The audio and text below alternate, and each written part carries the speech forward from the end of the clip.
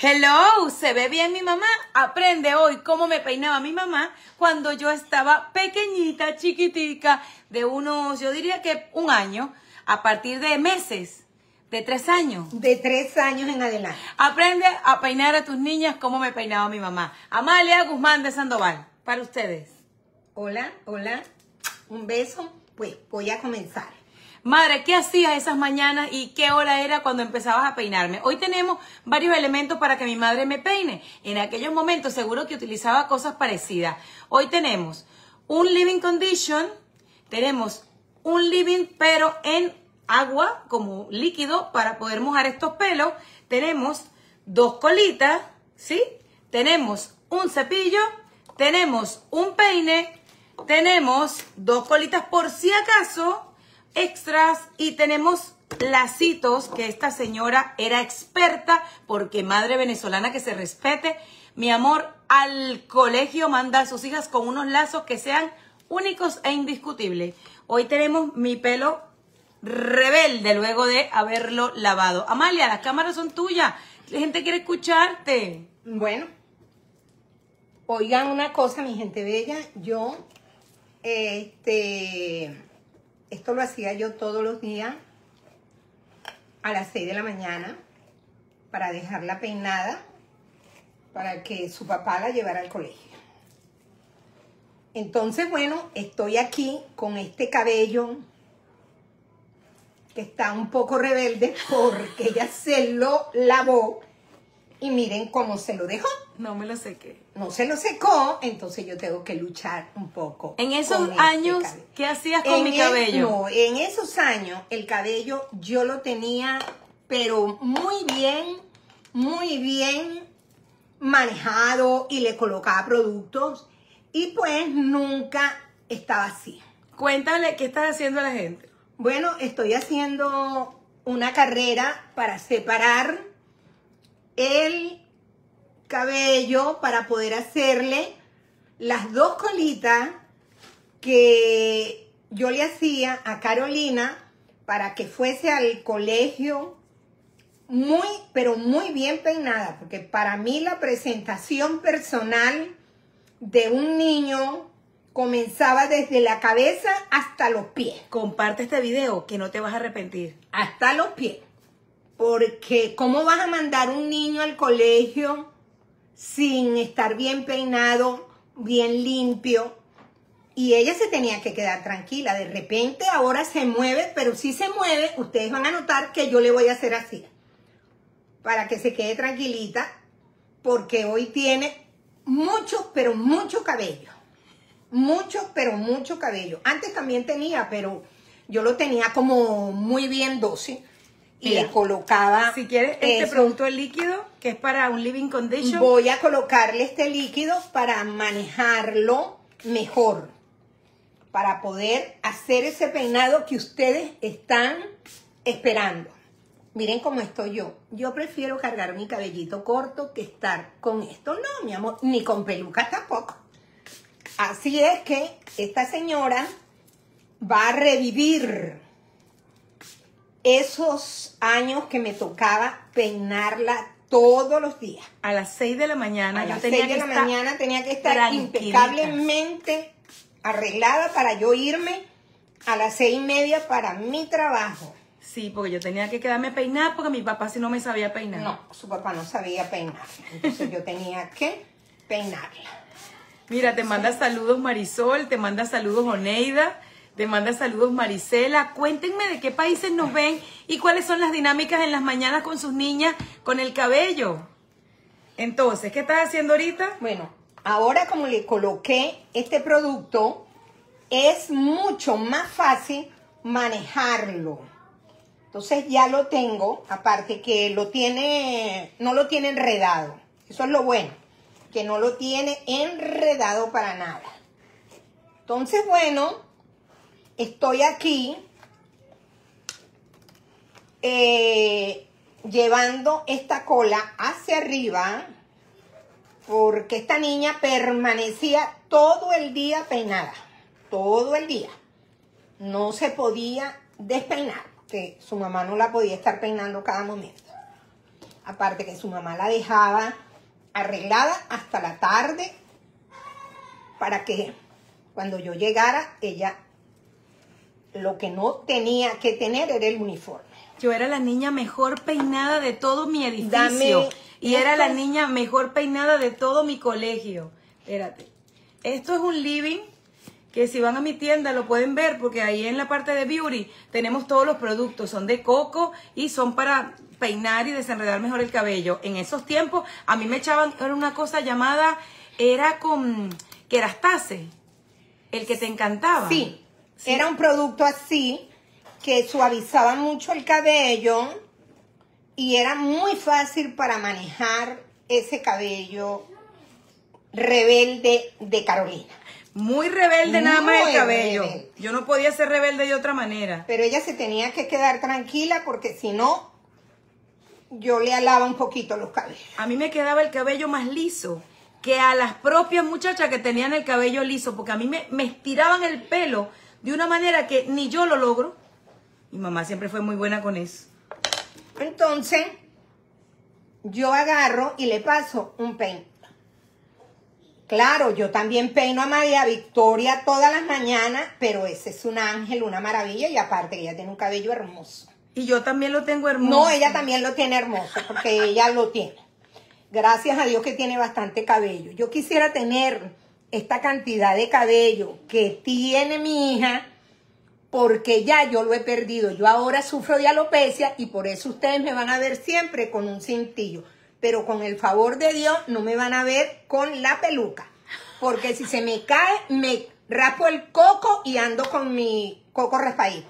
Pero si la peluca es una practicidad para cambiar de Para mí no, a mí no me gusta. Ella la ha usado, lo que pasa es que ella, ella es tan rebelde como mi cabello. Lo lamento en el alma, mi gente bella. ¿Ahora qué vas a hacer? Ahora le estoy colocando la liga, mire. Ay, que no se reviente. Bueno, ahí hay varias, por si acaso se revienta, agarro otra. Eso sí, yo no suelto el cabello, a eso te lo prenso más. Como tú quieras, como tú lo hacías en esa época, yo no tenía, pero ni un voto de nada que decir, yo tenía que quedarme calladita. Aquí, aquí, aquí y ya está. Fíjense ustedes, ya tengo este lado y de paso le hago así, pa, para que le quede más prensado. Ajá, y esto está bonito, esto está bonito, bien peinado. Entonces, otra cosa que les tengo que decir, esta niña era tan necia. Esta es una palabra muy mía y muy venezolana, muy necia, porque ella cuando yo la estaba peinando, que ya había hecho una quineja y ya iba a hacer la otra para enredarla, para trenzarla, me decía, que me quede igual que esta. Y yo todavía no la había terminado. Yo le decía, usted se calla la boca, espere que yo termine y después. Entonces, después que yo terminaba, ella pretendía medirse dentro de su cabeza si me habían quedado los dos lados iguales. Entonces, bueno, esto era todos los días. Yo me levantaba todos los días a las cuatro y media de la mañana para yo tener, dejar desayuno, atender a mi esposo, dejar la casa como se deja una casa arreglada, porque yo no tenía servicio para yo después arreglarme e irme a trabajar, a predicar con ejemplo, porque eso es lo que me ha favorecido a mí en la vida. Tus amigas de Nicaragua están diciendo que en Nicaragua también se dice necia. ok, a mí siempre me ha gustado predicar con ejemplo.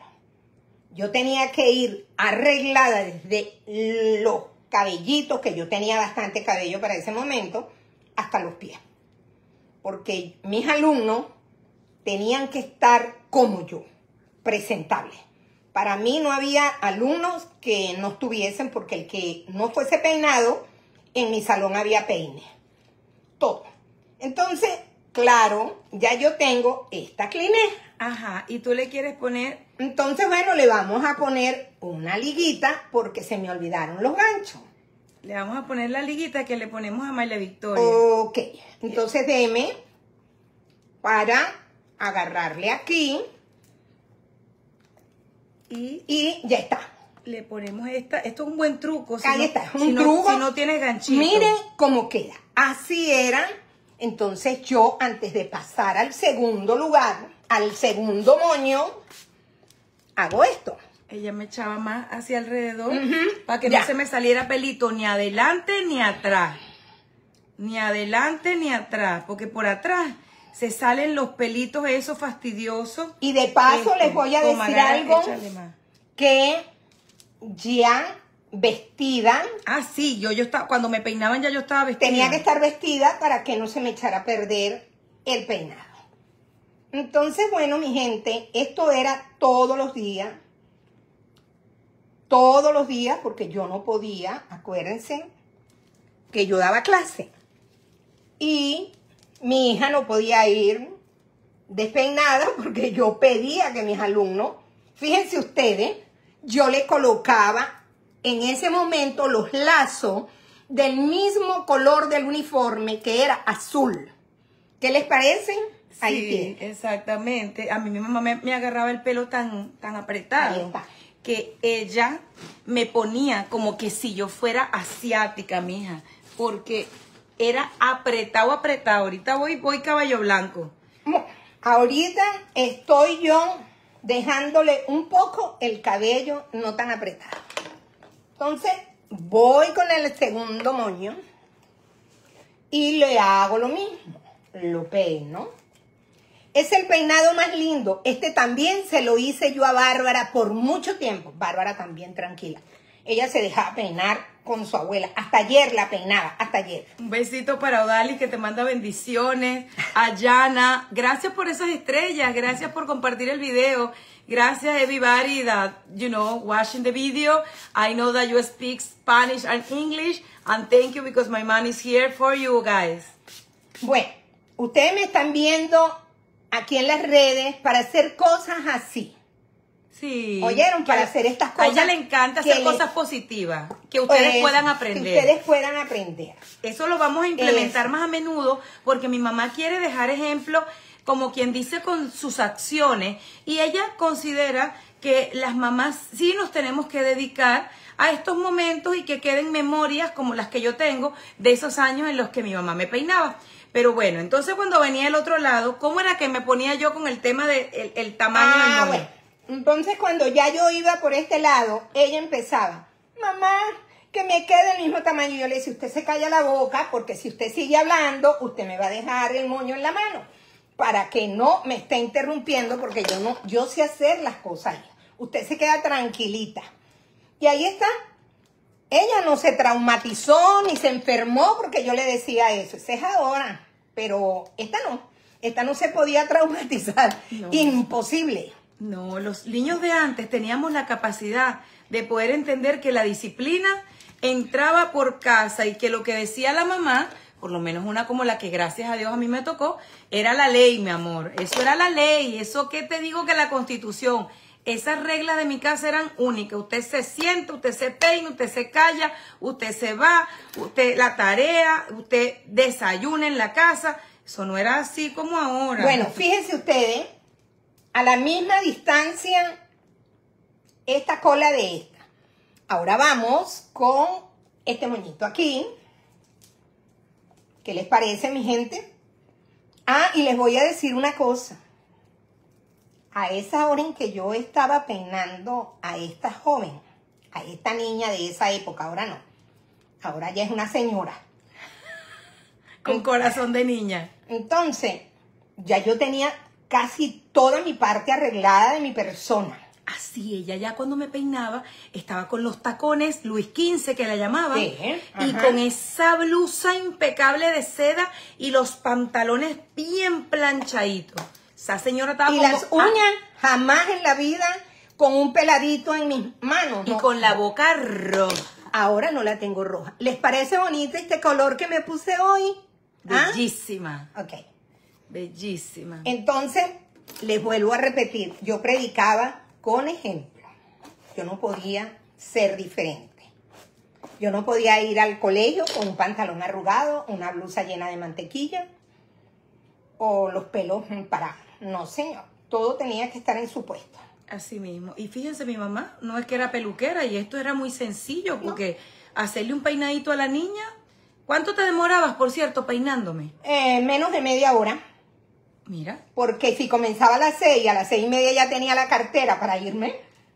Y le decía a su papá, ahí te dejo la niña arreglada ya, ya lo sabes, que no se ensucie, que se quede sentadita donde la dejo.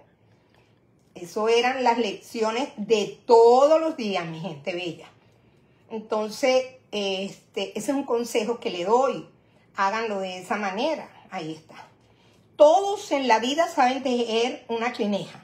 Clineja le decimos nosotros en Venezuela. Yo no sé cómo le dicen ustedes. Seguro le dicen trenza. Trenza, clineja, bueno. ¿Cómo le dicen braid? Creo que en inglés. Cuéntenme cómo le llaman a la trenza, a la clineja, ustedes en su país. Yo lo llamo clineja porque yo no hablo inglés, señores.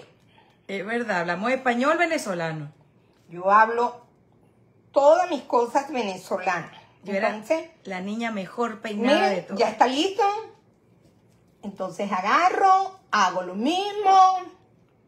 Ahí está. Ustedes dirán. Ahora se pone el la colita. La liguita que te agarre en bien. En ese momento eran unos ganchitos. Sí, a mí porque se me olvidó agarrar los ganchitos. Fíjense ustedes, Ahora ya espérense. este. Díganme que esta niña. Díganme que María Carolina no quedó bien peinada. María Carolina iba con el uniforme, esos tachones que tenía el uniforme, porque lo planchaba, lo alisaba todos los días esos zapatos que ella usaba que eran de marca Pepito para ese momento. De, patente. Y eso iba impecable. Para mí tenía que ir así. Entonces yo le colocaba los lazos de este color. Fíjense ustedes.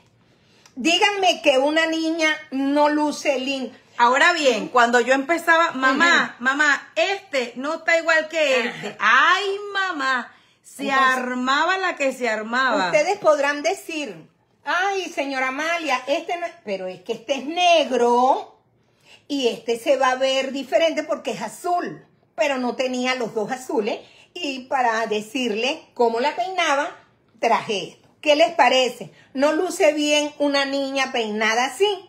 Luce bien. Luce hermosa. Es más, yo también tenía cintas de todos los colores y se lo enrollaba y le hacía sus lazos. Bellísimo. Mire, mi amor, cuando no existía el lifestyle, ni el hair to the today, y nada de esas cosas, ya nosotros teníamos la tendencia puesta.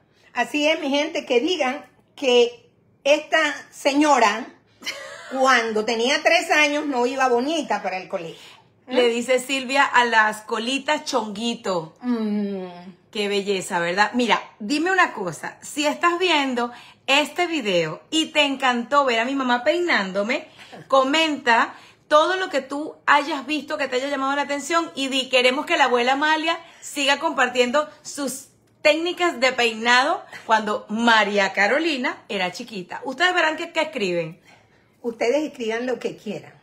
Los queremos mucho. Así es, que los abrazo y me verán en las redes dándole consejo técnicas que vayan a favor de ustedes y de su familia. ¿Oyeron? Los abrazo y que Dios los bendiga. Chao, mi gente linda, los queremos. Chao, Damari. Chao, Karen. Se les quiere mucho de aquí a Venezuela, de aquí a Colombia. Gracias a mi gente de Uruguay, de Paraguay, de Argentina, de España, de Suiza. Gracias por querer y seguir a mi mamá. A toda esa gente que se ha conectado, gracias, gracias, gracias. Y les voy a decir algo. No los leo porque no traje los lentes. No les voy a estar mintiendo. Entonces ella me va repitiendo. Pero a toda esa gente que está allí, a todas, los abrazo. Y los abrazo con bastante cariño y bastante sinceridad y bastante honestidad. Y otra cosa que les voy a decir, sean buenas personas. Así es. Un besito para Luisa Fernanda, para Cristi Hernández, para Patricia León. No me alcanza, como quien dice, la lengua para mencionarlos a todos ustedes. Ruby Rivera, gracias Jessica Torres, gracias que dice Jessica que a su nieta le queda este peinado precioso y es el mejor peinado. No le pegan piojo, no se le está sudando el cuello, no tienen calor. En cualquier país se van a ver bien bonita. Y mujer, tu hija te va a recordar toda la vida como yo voy a recordar este peinado hasta mi último suspiro. Chao, lo queremos.